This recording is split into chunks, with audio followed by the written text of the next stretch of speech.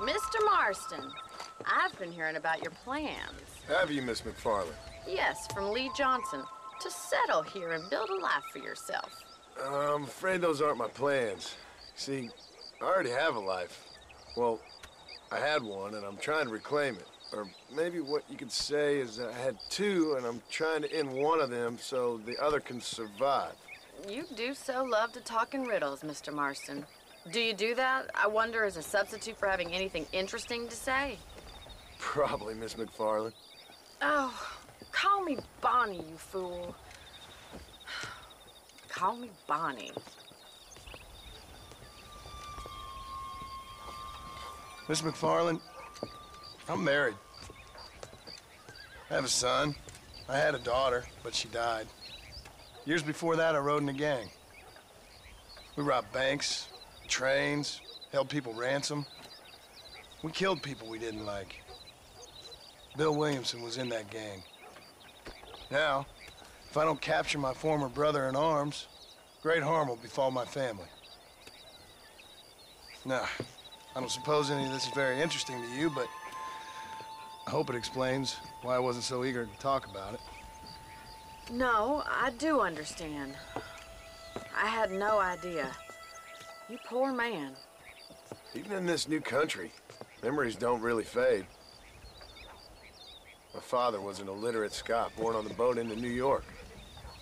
He never saw his homeland, but to hear him talk about it, you'd imagine he only ever ate haggis and wore a kilt. And he hated the English for what they had done to his great-grandparents that he'd never met. People don't forget. Nothing gets forgiven. That's true. Especially when it comes to money. And you know, even now, after all his labors, my father's debts are still terrible. I worry every day about us losing the ranch. It would kill him. My father died when I was eight years old. His eyes were, well, let's just say he was blinded in a bar fight south of Chicago. My mother died during childbirth.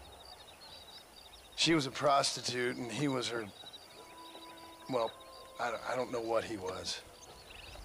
So I was sent off to an orphanage and ran away and fell in with a gang. My word. What a difficult life you've lived. Uh, the leader of the gang taught me how to read, taught me how to see all that was good in the world. He was a great man in a way. But you killed people. Sure. And I've suffered for it.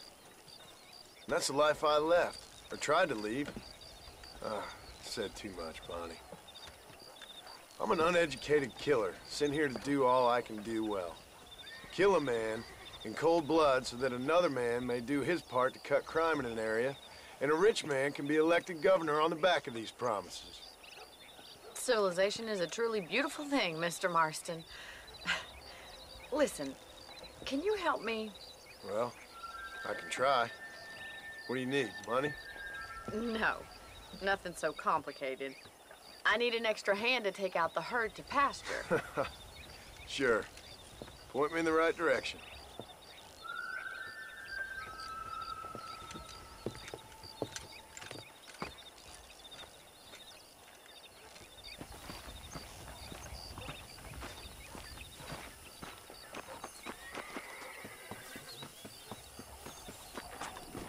right. Are you ready to learn how to herd some cows?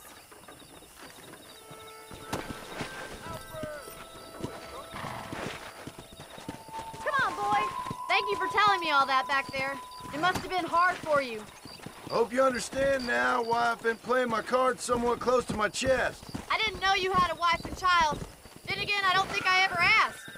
You should learn to ride before you learn to herd. They're they're lucky to have a man like you.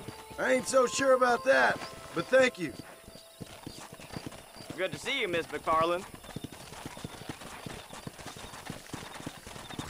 Careful! You're more of a hindrance than a help.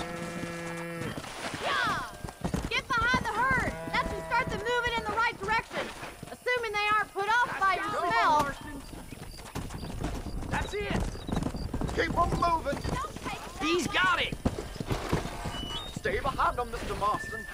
Come on, easy up now. Whoa there.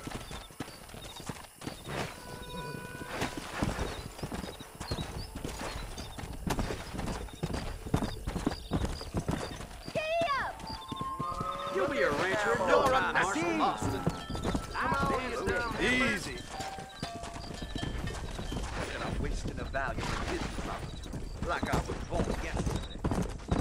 You You're a rancher now,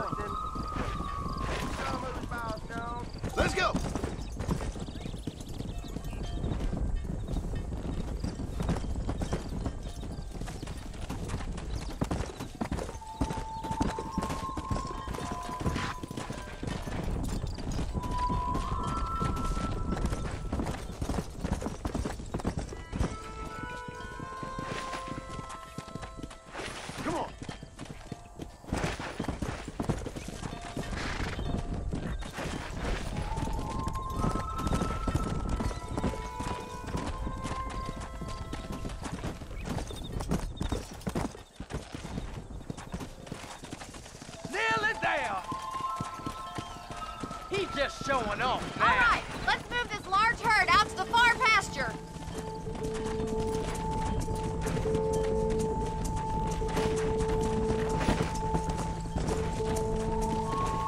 Swing back and forth behind them. Keep them nice and tight.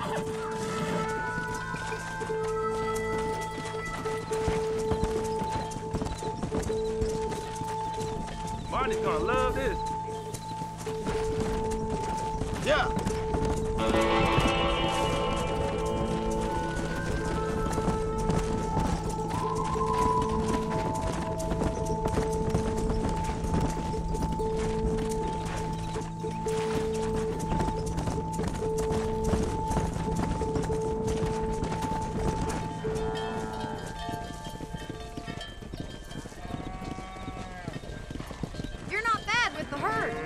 Ranching might be your true calling, Mr. Marston. Either that, or you were a cow in a past life.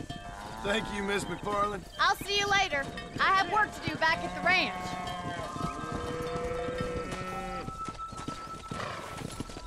Come on.